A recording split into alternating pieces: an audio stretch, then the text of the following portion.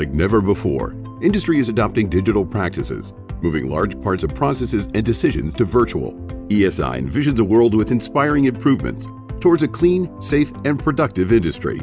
To get there, everything must be simulated, exploring alternatives sooner, and involving a diverse cast of stakeholders in all decisions. ESI software solutions anchor on predictive, to validate the product is manufactured, to change physics, processes, and to integrate with the customer's digital thread. Real-time, model order reduction and hybrid twin are transforming the virtual prototype into a real-time decision-making tool. Immersive, virtually conceived products and processes need to be tested from a human-centric perspective, an industrial metaverse for efficient virtual collaboration and decision-making.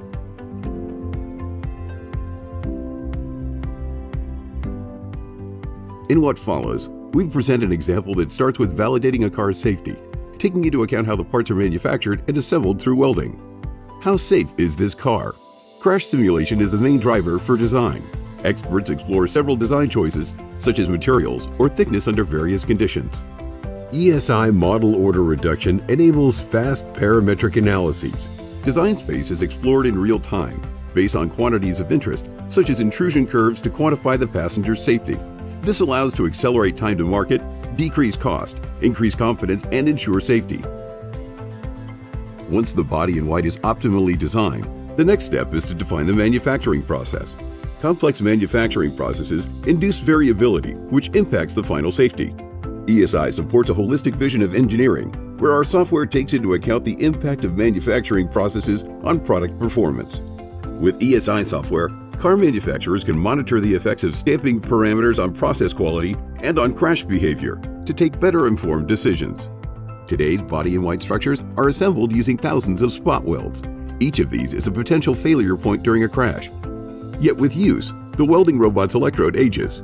So ESI's solutions help car manufacturers determine the welding process parameters to compensate electrode wear and ensure spot weld quality. Chaining the welding simulation with mechanical analyses on welded specimens, we infer spot weld strength, and the mechanical behavior of thousands of spot welds is then fed into the crash simulation. A parametric model enables real-time analysis for optimal process design definition. The optimal parameters lead to the spot weld state, the associated mechanical strength, and the related crash performances. Now let's shift our attention to production process control, and real-time decision-making required to assimilate streaming data into predictive process simulations by using physics-informed artificial intelligence. Let's come back to our welding example. During production, to detect the electrode wear, electrical resistance is continuously monitored. Hybrid Twin allows to fill the gap between state-of-art models and reality.